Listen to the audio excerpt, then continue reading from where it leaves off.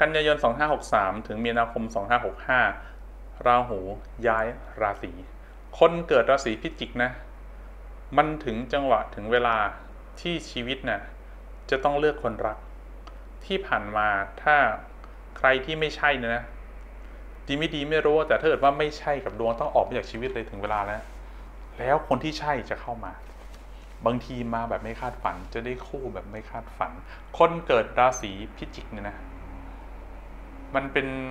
ช่วงจังหวะเวลาที่อาจทำอะไรแปลกๆลุกขึ้นมาเปลี่ยนแปลงตนเอง ตั้งแต่รูปลักษณ์ภายนอกหัวจรดเท้า เปลี่ยนแปลงวิธีคิดวิธีพูด เปลี่ยนแปลงวิถีการดำเนินชีวิตบางคนบอกจู่ๆก็ชอบกินอะไรแบบซ้ำๆอะกินแบบไม่เปลี่ยนเลยอะ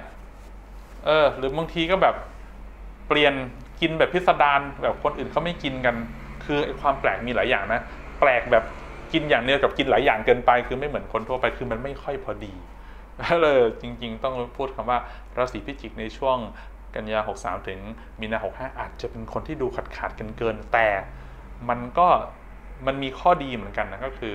มันได้ใช้ชีวิตในอีกแบบหนึ่งที่ตัวเองไม่เคยคิดมาก่อน บางคนบอก ไม่เคยคิดเปลี่ยน 18 ปีนะที่ผ่านมาไม่เคยเปลี่ยนเลย แต่ตอนนี้จะได้เปลี่ยนแล้วก็ให้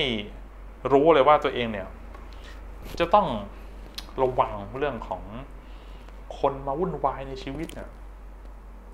อยู่เฉยๆสงบสงบก็จะมีคนอยากจะเข้ามาคุยโน่นคุยนี่มายุ่งกับชีวิตเรื่องส่วนตัว แล้วก็บางทีมันต้องต้องเดินทางไปมาก็ต้องระวังอุบัติเหตุที่เกิดจากการเดินทาง บางทีมันอาจจะเป็นเรื่องความเหนื่อยยากไม่ถึงกับอุบัติเหตุ ก็เวลาบูชาเทพราหูนะ ขอท่านเรื่องความปลอดภัย ขอท่านเรื่องของคนรักคนนิยมชมชอบขอเรื่องเงินทองเพราะดูเหมือนกับจู่ๆอยากจะนึกมาทำธุรกิจใหม่หรือไปทำอะไรใหม่เพราะราหูย้ายแล้วสังเกตดูหลายๆคนนะอยากทำอะไรใหม่ไม่อยากทำเหมือนเดิม พิจิกก็เป็นราศีหนึ่งที่ปรับเปลี่ยนคู่ มีโอกาสสูงนะ ถ้าเป็นคู่คนเดิมก็อาจจะปรับเปลี่ยนพฤติกรรมที่ปฏิบัติต่อกันไงหรือบางคน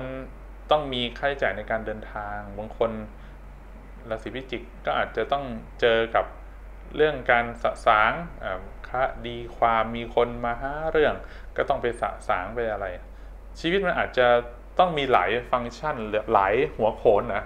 วันหนึ่งต้องมีบทบาทนี้คิดเรื่องนี้ อีกวันหนึ่ง หรือบางทีในวันเดียวกันเลย ต้องมาคิดเรื่องนี้มาต่อเรื่องนี้การมีกิจการหลายอย่างก็เป็นเรื่องที่สนุกท้าทาย แล้วก็